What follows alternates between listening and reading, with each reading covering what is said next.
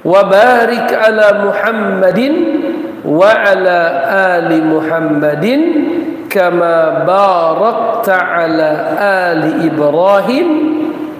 Fil alamina innaka hamidum majid. Siapa yang mengamalkan yang ini?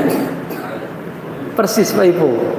Ah, Pak Ipung mengamalkan yang ini. Sohi atau tidak Pak Ipung? Jangan-jangan doib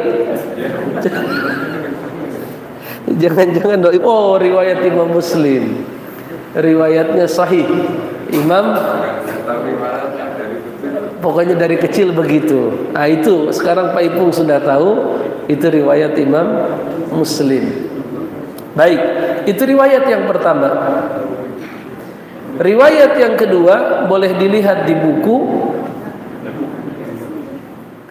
Seorang sahabat Nabi yang bernama Ka'ab ibni Ujrah berkata kami katakan kepada Nabi ya Rasulullah kami paham bagaimana kami mengucapkan salam kepadamu.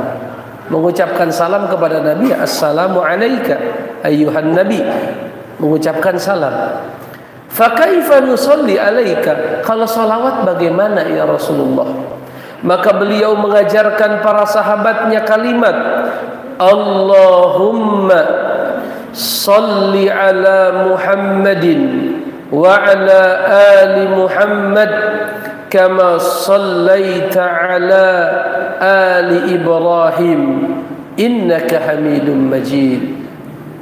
Allahumma barik ala Muhammadin wa ala ali Muhammadin kama barakta ala ali Ibrahim innaka Hamidum Majid. Ada yang mengamalkan ini? Enggak ada. Terus bapak-bapak yang mana?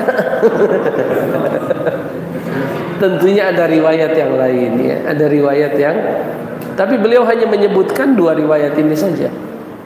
Ya beliau hanya menyebutkan dua riwayat ini saja kalau yang yang umum di masyarakat bagaimana? Allahumma salli ala Muhammad wa ala ali Muhammad kama sallaita ala Ibrahim wa ala ali Ibrahim wa barik ala Muhammad wa ala ali Muhammad kama barakta ala Ibrahim wa ala ali fil alamina innaka hamidum majid. Nah, itu yang umum ya. Dari kecil kita belajar itu pak.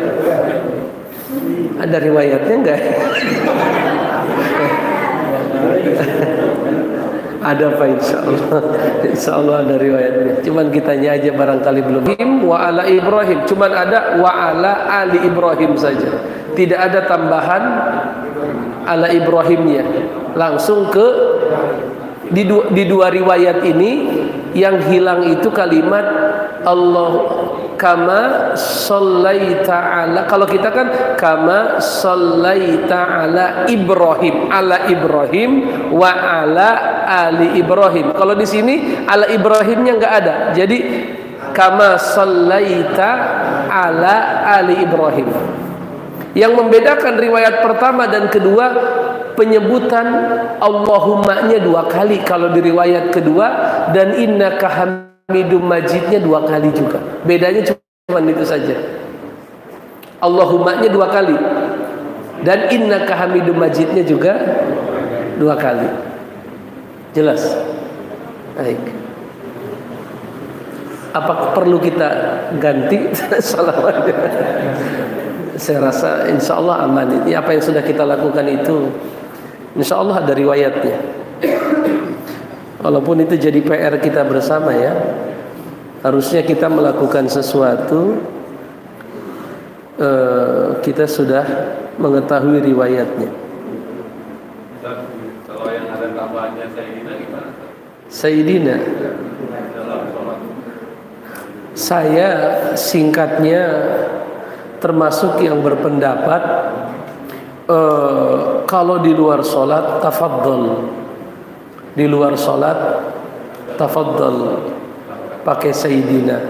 Tapi di dalam sholat kita pengen memegang sabda Nabi sallu kama raaitumuni usolli salatlah seperti kalian melihatku salat. Ini saya sudah ketemu nih ya. Saya bacakan enam riwayat